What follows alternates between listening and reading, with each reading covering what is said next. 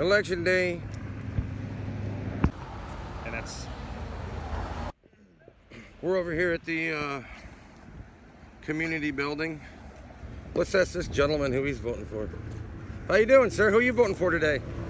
Drummond, Shoemaker, Morgan. You're a smart man.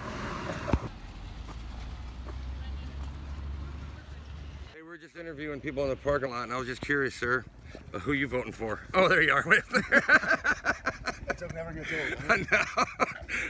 Okay, I think it's uh, fair to say uh, we've got the pulse uh, of uh, the public and who they're voting for today.